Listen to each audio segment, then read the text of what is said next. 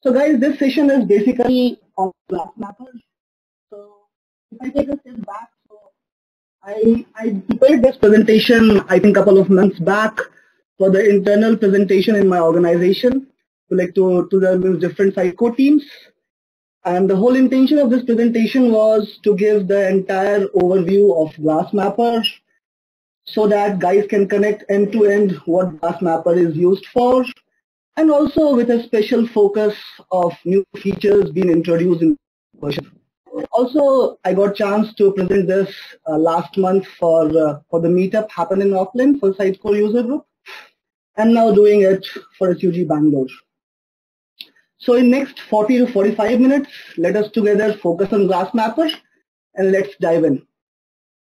So a quick introduction about myself. I am Kumar Saurabh. So currently part of Sitecore implementation team at AKQA Auckland. I have been playing with Sitecore from last four years while working with large-scale digital transformation projects. Prior to that, I come from .NET background. So these are a couple of ways by which if you want, you can connect me. Regarding audience, so what I assume that everyone in this call are Sitecore enthusiasts and have been working with Sitecore. And also I would assume that most of you would have been already working with Glass Mappers. So consider this session next 40, 45 minutes as a sort of refresher for Glass Mapper, whatever, means whatever you have been using.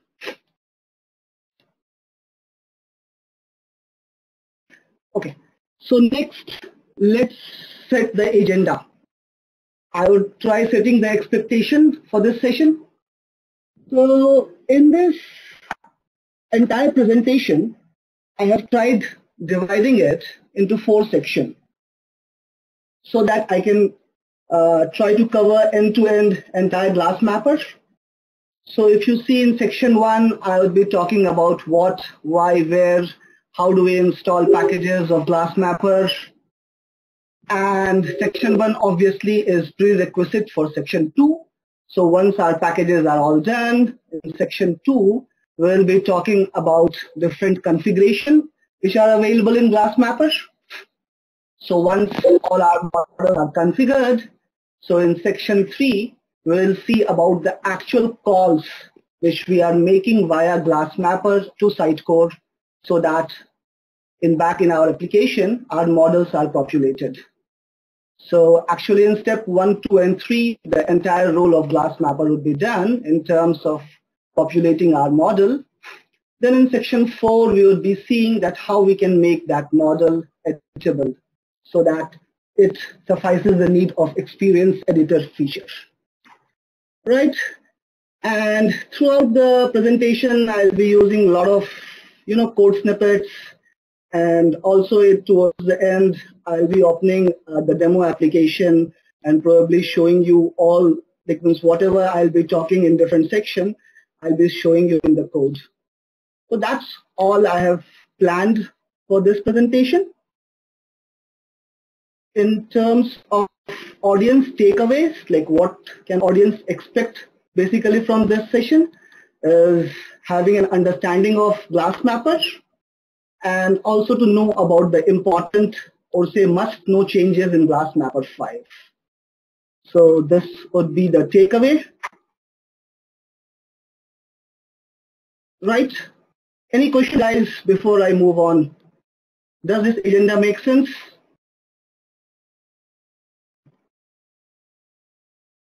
Okay. So moving on to section one. So here we are going to speak about exactly Glass Mapper is.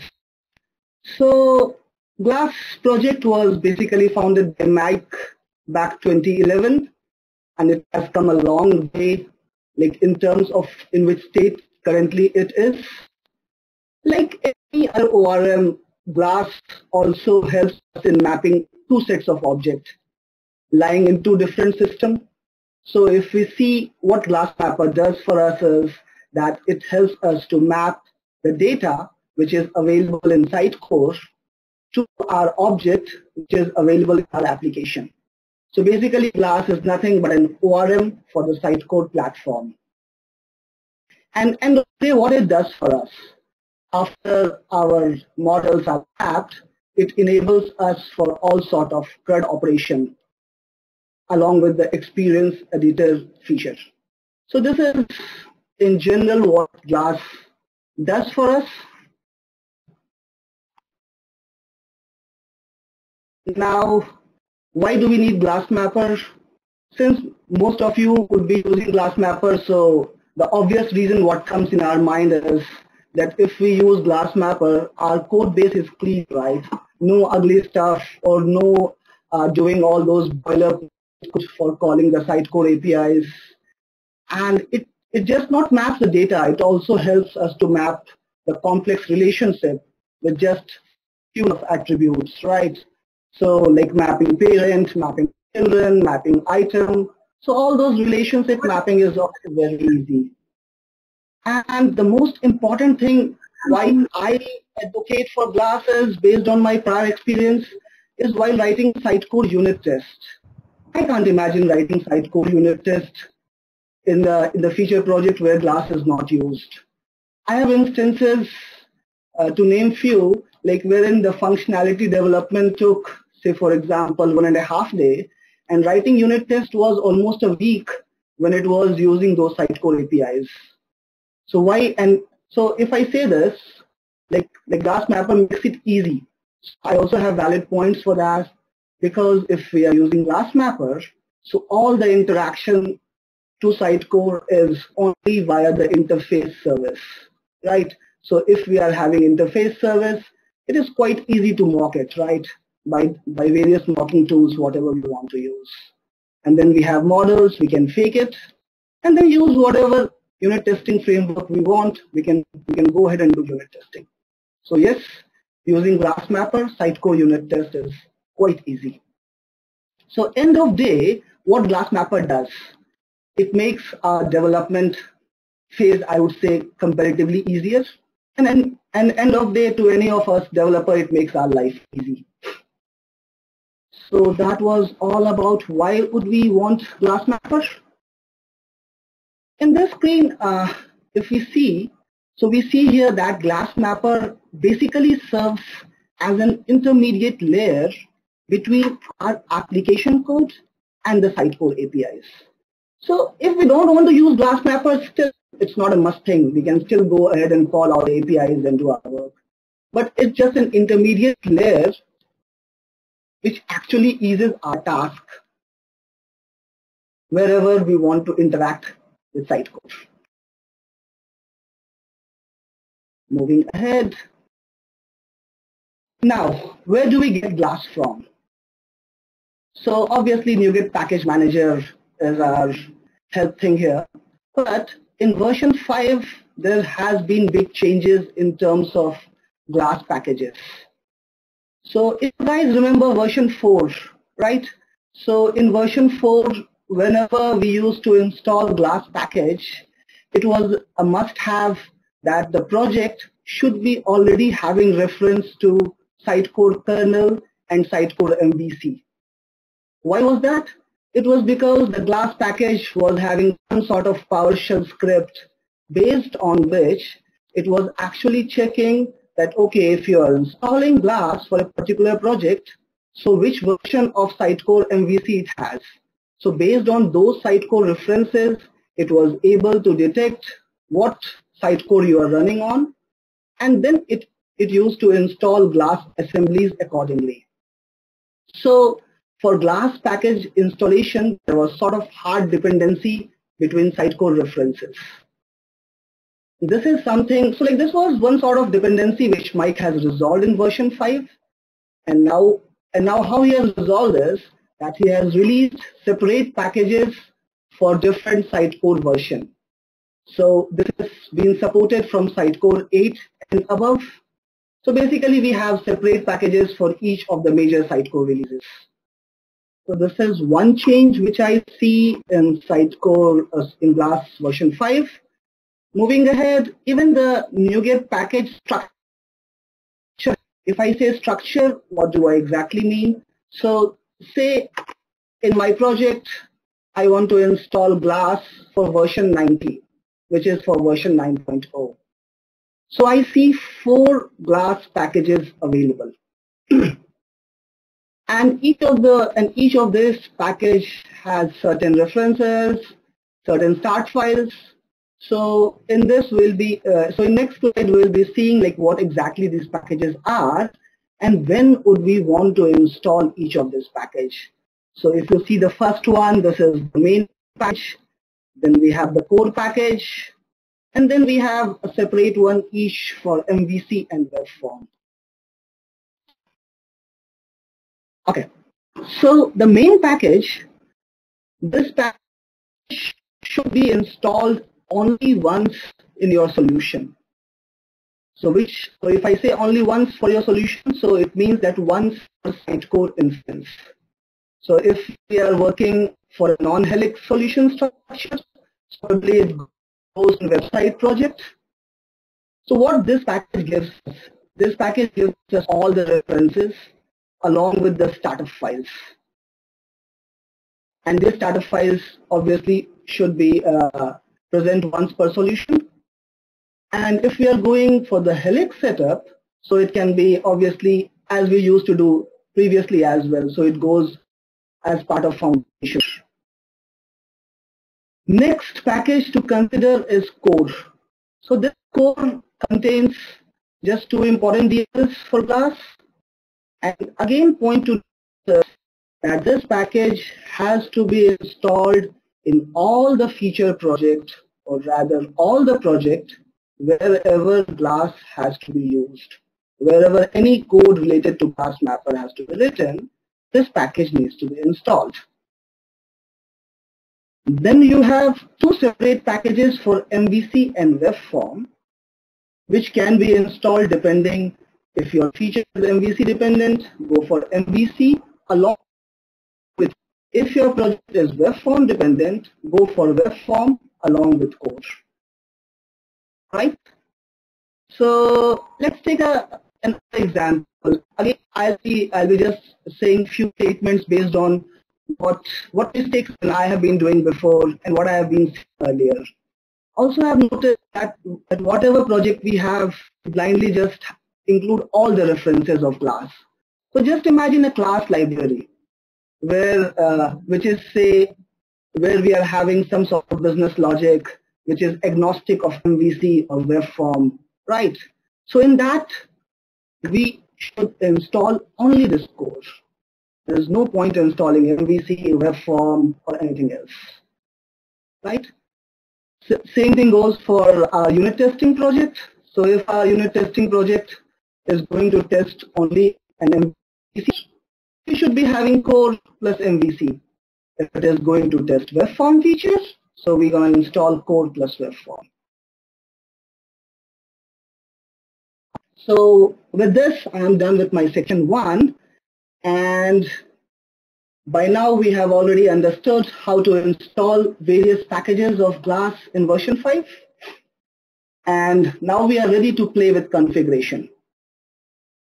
So in terms of configuration, if we see, so basically in glass, our end goal is to map our model, right? Is to map our model with data available in Sitecore. So if we are saying configuration, so we are saying configuring our model, right? So if we are saying, so there are on, on the top view, there are three types of configuration, how we can configure model in Glass. So the first one is auto mapping, then we have attribute configuration, and we have fluent configuration. Let us discuss each one of them. Auto mapping, as the name suggests, it should be mapped automatically, right? So no special configuration required by us. What we need to ensure is that the naming conventions are right. So there are certain sort of naming conventions which we need to take care if we are going ahead with auto mapping. Again, not everything can be auto mapped. So if we are going ahead with auto mapping, what we can auto map is the item ID, We can auto map relationships. We can auto map certain basic attributes of an item. And we can auto map field. So if I say the basic attributes of the item, so those basic attributes should be the uh, should be one amongst this enum value type. And what convention we need to ensure is that our property name should be should be mapping exactly same as what we are seeing here. So if we want to map ID, it has to be ID. If we want to map a relationship, so property name should be same as parent, children, item, and likewise. So just taking an example of field auto mapping. So if we have defined a certain fields in template, and if we want to auto map this, so we have to ensure that in our model class, the property should be same as the field name. Okay. So this was the basic convention how auto mapping worked. But if you if we think, so how does Glass handles this internally? There's, there cannot be any magic, right? So it has to be some logic or some algorithm based on which Glass Mapper handles it. So into Git and just check what Mike has written. So we see that if we are going ahead with auto mapping, so basically Glass loops all the properties which we have in our model and have certain sort of rules based on which each of our property is passed. So if we see here quickly, uh, so first it's gonna check each property whether exactly it's ID. If not, it's gonna check whether each of the property is one amongst these relationship. If not, it's gonna check amongst all those, you know, enumerated values. And if nothing matches, it assumes it's field and then map it to the template field. So auto mapping is good, but if we see internally, so I would not go for it after seeing this that, okay, it's gonna do all this extra sort of work. Just making easy for me that, okay, I'm not defining any configuration in the code, but each time whenever my model is loaded, it's going to do this additional checks. So the suggested way would be, if we are doing a real production application, to explicitly define the configuration. So for explicitly defining the configuration, we have two options. We have attribute configuration is the first one. So in attribute configuration, what we do is it is via C sharp attributes. So basically we decorate our model class. This attributes can be set on the class level or interface level where we can associate it to a particular template, where we can enable, disable caching, and so on. On field level or on property level, we can decorate with fields, Sitecore ID, different relationship, pass queries, so if we see here, the other benefit is that if we have gone with auto mapping, then we have to ensure that our template field in Sitecore should not have any space, right? Because our properties cannot contain space. But in this case of explicit mapping, even though there are spaces or there is anything inside there, inside CMS in template field, we can actually map it with the field ID or we can go ahead and map it with the field name. So all those restrictions, so we are free from all those restrictions here. Again, uh, if you remember the, uh, the enumerator which I showed you, so all those uh, so all those basic attributes can be mapped in attribute configuration as well. So we can go ahead and map item name, display name, URL, template name, IDs. So whatever is available in that info type and, and um, can be also explicitly mapped for a property. So this is what we do in attribute configuration. One other good thing, uh, what I see about attribute mapping is, so if we are doing an application, it is not just glass mapper attributes, right? So our same model class can also have some sort of MVC validation attributes. It can also have some sort of site Sitecore search attributes. So if we go ahead with attribute configuration, so all our configuration for a model lies in the single place. So this is one good thing I feel personally for attribute configuration and why it is a preferred choice for me. Going ahead. So Fluent configuration, though it is different, it gives us certain flexibility, which we'll talk in the end. But in terms of what it does, or in terms of configuration mapping, so actually it does the same thing. But, but it is written in a different way, so obviously it's a different Fluent coding style, if you see in detail. So still here, we're gonna, so we have our model class, and we want to map each of the properties, right? So for using Fluent configuration, we have to use Sitecore Fluent configuration loader. So we need to instantiate that and basically each model, whatever we want to add, we need to add it to the instance of Fluent configuration loader. So we see here that we have, uh, so since I want to configure event list item model, I just went ahead and add event list item. And then in these lines of code, basically just by the Fluent coding style, I am configuring the property. So I am saying map my field page title and the field name is page title. So it can contain space or whatever, depending on what is available inside template. So we can, so same as attribute configuration here as well.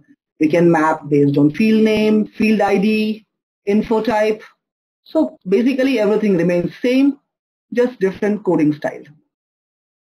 So what is different and why would Mike could have thought for this? Like, like why should we, so means why should he be doing this fluent configuration option in Glass?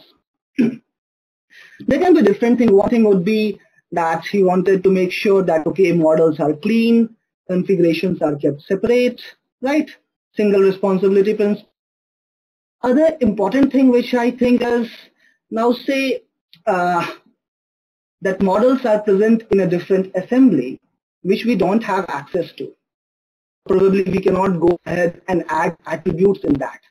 So in that case, Fluent configuration would be a, would be an helping hand to us because here we can still write, we can use those models in a different assembly and configure it at our end. So this is one place where I feel that Fluent configuration would make more and more sense. So that is all about Fluent configuration. Now moving it.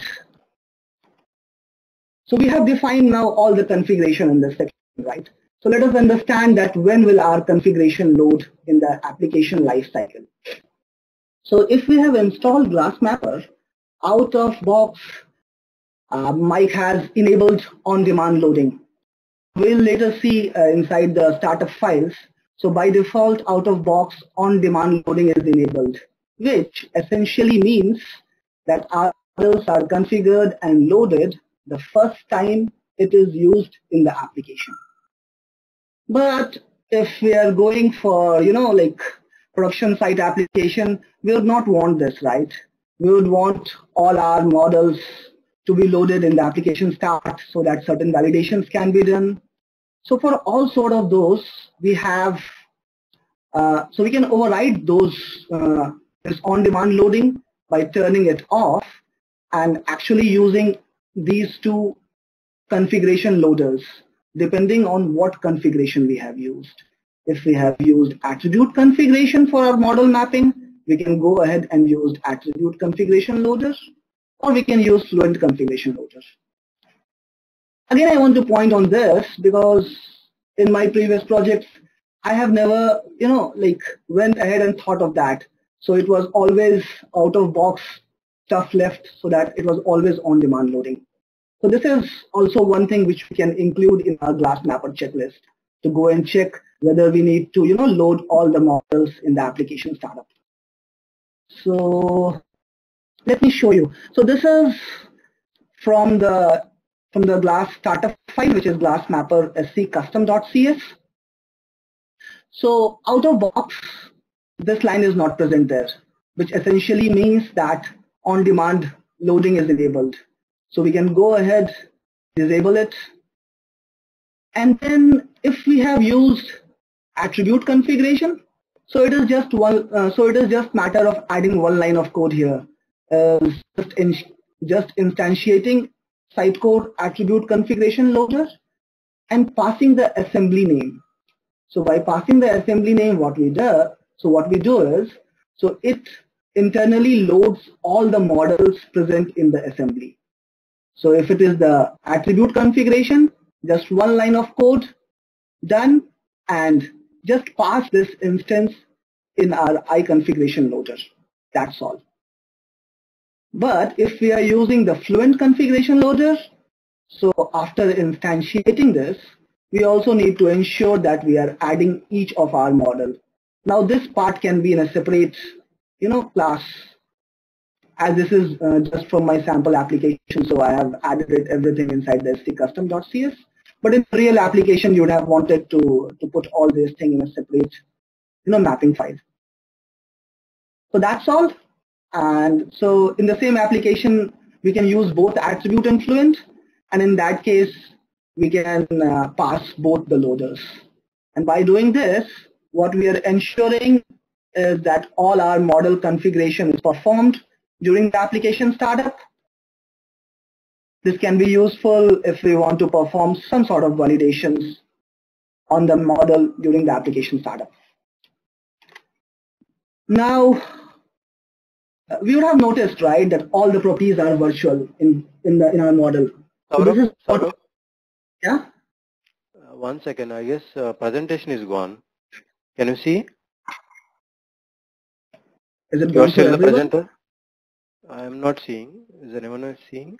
Ah. I don't know.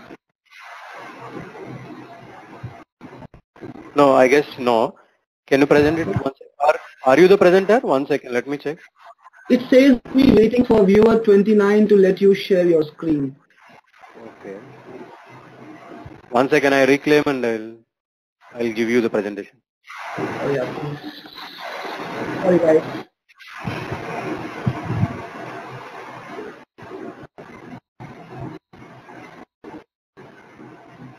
Yeah, I passed you presenter. Probably I was allowing someone and then I would have given the Yeah, yeah. Yes, yes. it's okay. Yeah, we can see your deck.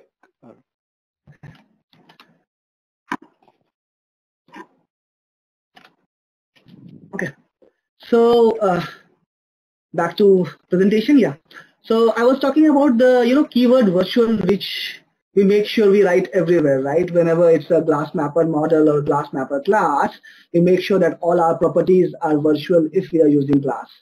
If it is interface, it's by default virtual, but for class, we ensure that it should be always virtual. So, like means why do we do that? So if we think on that perspective, so virtual, if we think from the OOPS concept, virtual is something which can be overridden.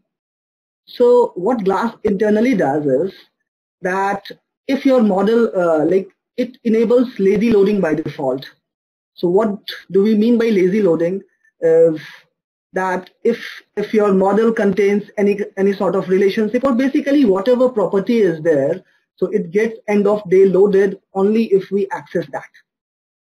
So for enabling that lazy loading, Glass basically needs to dynamically generate some sort of proxy class on the fly, which will act, which will actually wrap our model class. And to be able to inherit and override the properties which we have defined, they need to be marked as virtual. So to enable this lazy loading or deferred loading, this will work only if we mark our properties as virtual right? So this is the main reason why we mark our property as virtual inside the class. Going to caching. So we can also, uh, so if, if you remember Glass version 4, so we were able to uh, map or we were able to decorate caching, caching on the property level or on the field level. But here that field level thing has gone in version 5. we cannot do it at the field level.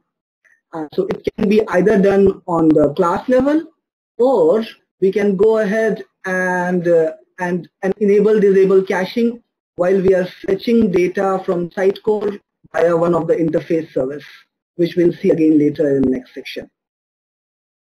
So one thing regarding caching is we should, all, we should also think that when we should enable caching or not, because if we enable caching, then lazy loading gets disabled. Now, lazy loading is something which we have seen in the previous slide, right? If lazy loading gets disabled, which actually means that the entire object graph of the model is mapped in the beginning itself. So just imagine from the, from the performance perspective.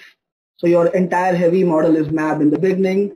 So if, if at all we are going ahead with this caching, I would suggest cache some sort of settings item or configuration item, which is reusable across various rendering. And this cache gets cleared on publishing, similar as Sitecore HTML cache. So I think this is all regarding the section 2, which was about the configuration. Moving to section 3, services. So till now what we have done, we have installed package, we have already done basic configuration to our model.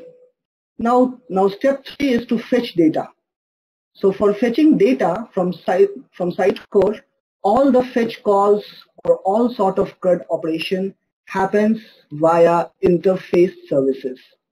It was same in version 4 as well. It is same in version 5 as well. What is different is there are new addition, there are few deletions. Let us see that in version 5, these are the available services. If I go from the bottom, iSitecore context is something which ha we have been using at most right in version 4. Uh, now it is deprecated and it is deprecated for good I would say. So instead of iSitecore context, we have three specific interface service, iWebForm, iMVC, iRequest, which we can use in different scenarios depending on, on our need. As the name suggests, we, we would be using web form if we have a web form used in our feature. Same goes for MVC. Request context would be used if it is, you know, agnostic of MVC web form. So all these three are new in version 5 and this has gone. iSitecore service remains same, but there are a lot of updates in iSitecore service. So if I say in terms of updates, which we'll see in detail in next few slides, so actually it has become more I would say, less number of overloads and more sort of segregated. And in terms, so iSitecore service, it was singleton, it is still singleton. And all the three new uh, interfaces, so if, uh, if I speak in terms of their concrete implementation, so all these three new are still scoped and, and it has to be done per HTTP request. So nothing has changed in terms of that. Going. So as I said, like iSitecore service comes back from the earlier version. What has changed here is less number of overloads. So if I say less number of overloads, so how, how Mike has made it possible? He has made it possible by some sort of options class. So he has introduced options class in version 5. अंग्रेजी ज्यादा आ गई तुमको No, was there any Too much of question? English. तुम चलो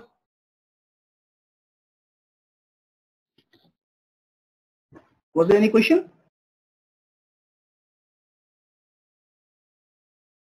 no sorry you Okay. can continue I think So, so how it has been possible in version 5 is via options class. So we will see the available options class probably in the demo as well and also in the next slide. In terms of methods, what we have, I think populate is something which has been introduced in version 5. A part of that, those are the same set of methods. And see here the available options class. So there are predefined options class if we are retrieving by path, if we are retrieving by ID or by query. And if we are going for collection of items retrieval, so we have something interesting been introduced as get items by func. As the name suggests, we can have our custom function because it allows us to create a function that represents a set of items to be mapped. So I imagine this scenario would be helpful if we have some sort of custom logic to pull data from site Sitecore, which is not sufficed by the available predefined options. Right. So if you're able to see my screen, I'm not sure how short the font is, but in the first half, I have put how, you know, iSitecore service was in version 4 and how it is in version 5, even without going in detail. And, and this is, you know, just half of the, of the interface details. So I've just taken the first half screenshot. And if you see in version 5, how neat and how clean it is. So what difference? You see just for get item how many number of overloads we had. And it is not that, that, that all this feature has gone in version 5. We still can configure all sort of things which we used to do in version uh, 4.3 by using options class. You see here, we just passed the options class and, and whatever configuration was as part of this method parameter can be done via the options class. So this is how it has become neater, more segregated, arranged in version 5. Next we have I request context. So I request context, obviously it will be used in scenarios like, for example, if we have to use glass in computed field, pipeline, event, where it does not know whether it's MVC or web form, so we can go ahead and go for I request context. These are sort of methods which are available. I will not go in detail. Yeah, so I request context, again, this is a new one, as I have told earlier. And it, obviously, it will, it will contain iSitecore service. Next, IMVC context. Obviously, we'll be using it any feature where we have been, where we have implementation done via MVC and it contains and it gives us access to fetch data source, page context, so everything related to our MVC controller rendering or view rendering. So it contains everything.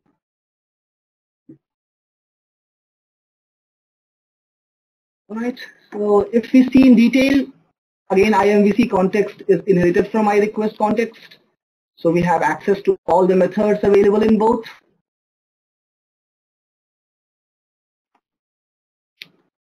either form context. Obviously, we'll be using this one if we have any feature development which is based on web form. So if we see uh, these three new interfaces or say interface service which has been introduced in version 5, so each one of these have specific purpose or specific usage, right? So now let me yeah. This is one important thing which I wanted to focus on. So if we are so if we have been using glass from last couple of years from last couple of years so we will be having the habit of always using glass controller right? Like inheriting our controller from glass controller so that we get the access to get data source item get rendering parameters inside glass controller this is how even I generally used to do it earlier but now in version 5, Mike has said a big goodbye to Glass Controller.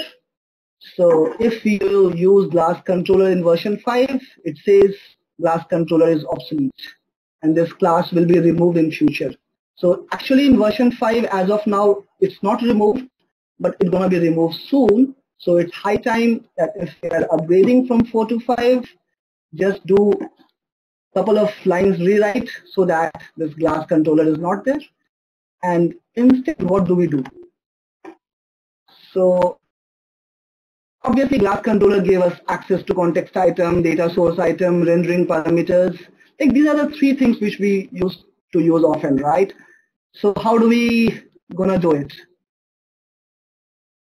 If we have seen the three new interfaces, right, introduced IMVC context, iRequest context, web form context, that contains everything. So if it is, so if we are doing in version 5, we can simply instantiate from our MVC context and just call the get context item, or, or it, basically it contains everything whatever we had in Glass controller. So nothing to worry. It's more structured and more easy to use once we start using it. So this is all about the you know services. So by now we have understood how do we make call to Sitecore via these interface services. And now we have got data back. Data is mapped to model. So now this model can be easily passed to front end. Data is shown to the end user, everything done. But since we are working with Sitecore, we would also want to make this model as editable, right? So for doing that, we have Glass HTML. Again, this is something carrying forward from version 4. Nothing specific introduced. Till now, I have not discovered anything specific which has been introduced as part of Glass HTML in version 5. So I just wanted to focus on few things regarding Glass HTML. So in version 5, if we are using Glass HTML, it is advised to go with the HTML helper methods available in iGlass HTML. So go with editable, render link, render image, begin edit frame, depending on your field type, like whatever field type we have. One important thing to mention here is that whenever we are using these helper methods and passing our model to make it editable, let's ensure that it contains ID. Why it would need ID? Obviously, because if we are enabling the experience editor feature, so someone is editing the content and that needs to be edited back in CMS. So for that, Glass needs ID to be available in our model. So this is one thing which we should take care of. This is just for the iGlass HTML, all the available helper methods which we discussed in the previous slide. And one thing I would like to show is regarding render image.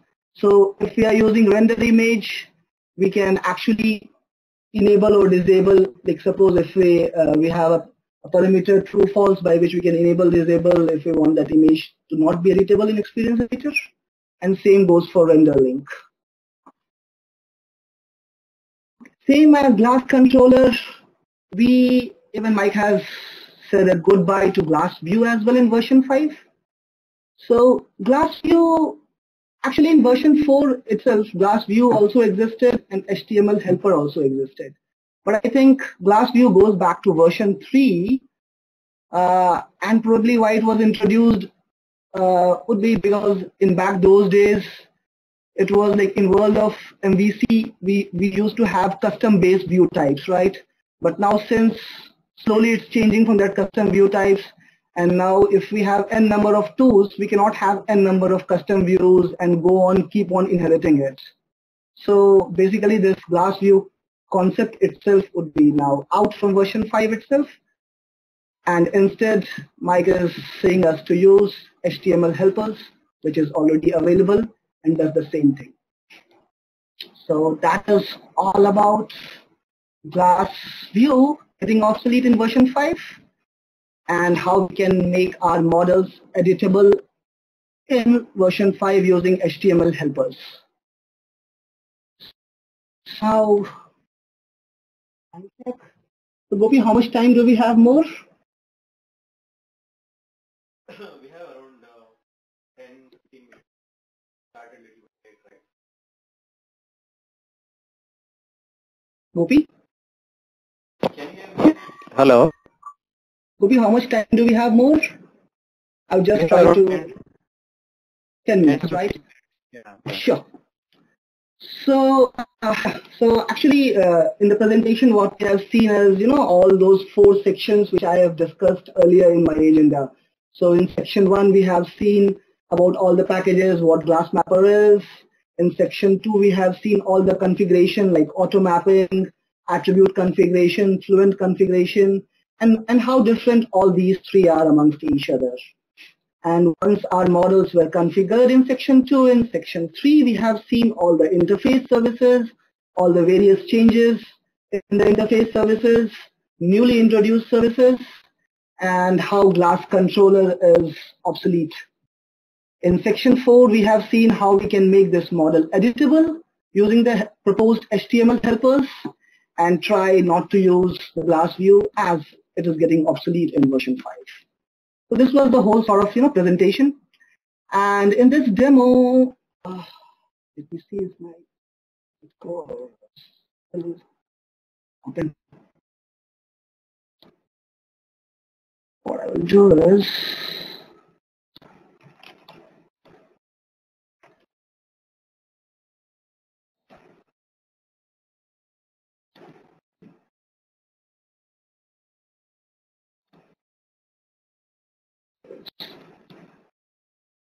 just this will take some time right?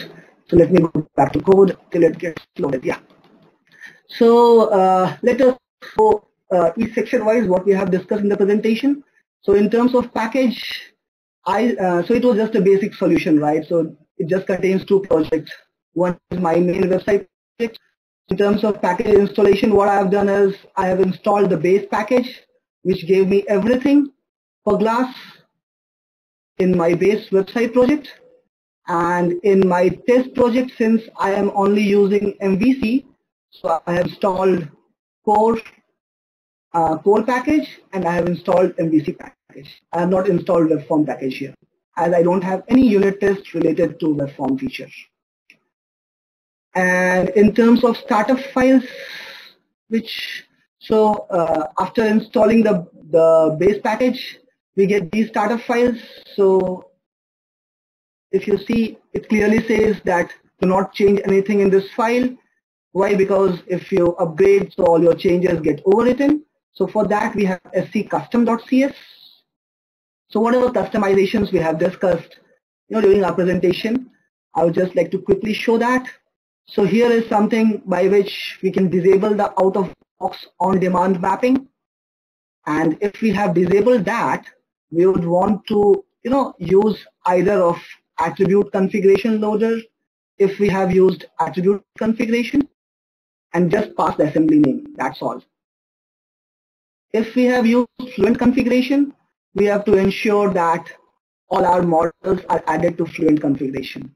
Again in the ideal case you would want to move this code out of this scustom.cs and then all the instantiate like whatever objects of this configuration loader can be just passed here. So by doing this, all our configuration, all our model configuration gets loaded in the application startup. Okay, uh, in this session I'm not focusing on ad map. This would be probably sometime later. Okay, so now let's see about the auto mapping which we have discussed. So in auto mapping, it just case goes based on the condition. There is so model is clean. There is no configuration defined. But the only thing we should be ready for that big if-else logic which we have seen what glass does internally if we go ahead with auto mapping. Right? And so in terms of how easy it is, right? So once our model is done, so what we do, if we see in the controller, so this is our, uh, so I've been using here MVC controller. So it was just one line like I have defined my model and it is just calling the context item, passing it, and hooray, my data is mapped, right? So this is how data gets mapped, passed to the view. In the view, if I would like to show, so I have been using all the HTML helper methods. Like I want to make this image as editable, so I have passed it as true nothing special, same what we have seen, what we have discussed. If we see attribute configuration,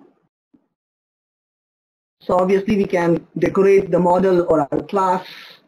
So we can decorate our class on the model level, we can decorate it on the field level based on item ID, field ID. Uh, Sorry, Saurabh, Saurabh, can you make the screen a little bit 125% maybe? Uh, code, the Visual Studio. Yeah. Is it better? Yeah, yeah, it is better. Thank you. Yeah. So yeah, and this is also an example of you know attribute configuration, wherein we see that how we are mapping the actual ID here. So if we are decorating it with Sitecore ID, so it can be named as even ID1 or whatever I want to uh, uh, whatever I want to name this property because now the mapping would be done explicitly by attribute. Right, so this is all sort of attribute configuration. Next, I'd like to show about fluent configuration. So fluent configuration, basically and all this actual configuration can be either done in a separate class. So here I have done in the same class, but it can be actually done in a separate class. So here also we can do all those configuration based on field name, field ID, and, and the basic attributes available in the and also basic attributes like context path, plain name. Mainly, I have been using always this URL property to map the item URLs. But even all, like whatever we see in this enum type can be mapped to a property. So that was related to configuration. So all configurations done. In terms of services, let me go in one of the controller. So this is just some constructor injection. I'm not going in detail here. So basically what it says that once my model is decorated, I simply do a call via my interface service. So since it was my controller, which was MVC, I just used IMVC context and then I could have, and then I get whatever I want. I get the page context. I get, you know, data source item, page context, rendering item. So whatever is required for controller rendering, almost everything is there. We can also use the methods available in request context or Sitecore service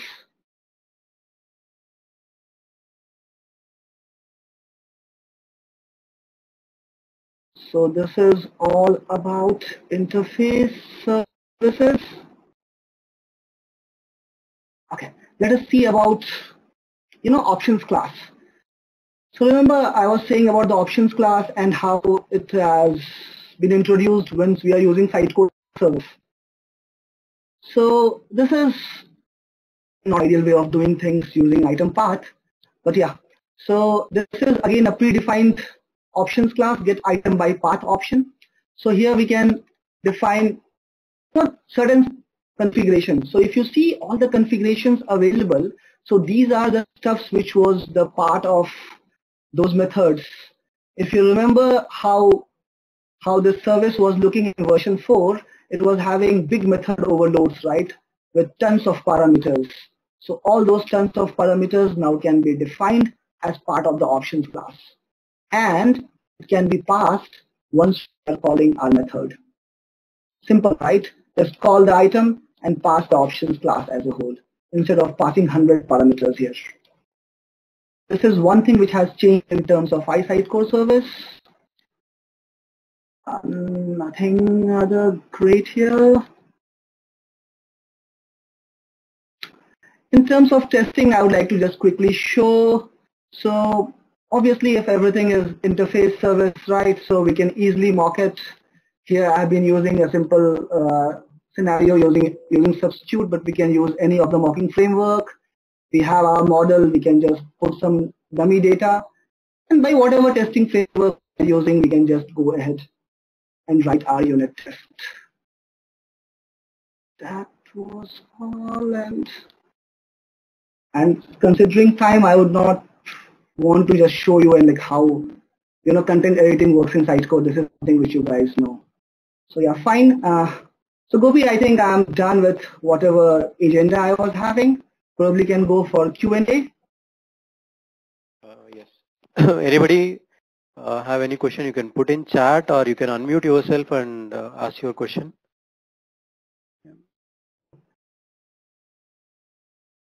We'll see if anyone has any questions. So there can be no question only in a scenario either it, it was so boring that no one was listening or whether it was so clear. uh, I, I believe most of the people are familiar with Glassmapper, which they are already Yeah. working on. But I guess maybe the only version 5 changes, which are a little bit tricky because uh, there are some things are absolute now, which we need to Yeah. take care while upgrading the solution. Yeah. Yes, that's one. Uh, anyway, no more questions. If, if you have any questions, feel free to reach us in WhatsApp. Saurabh is also there in our WhatsApp group or outside you can directly reach Saurabh as well. So, uh, if any, if Okay. there are no other questions, yeah. Thank you, Saurabh. It was, it was, Yeah. I would just like to uh, take a moment here, uh, Gopi. yeah, Also Yeah, to, uh, you know, like give credit to Mike for his, you know, Yeah. whatever stuff he has put down in his training.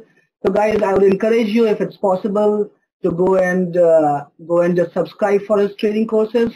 His training course has, is really good. So, and, and actually it helped even me just to understand all bits and pieces of Glassmapper.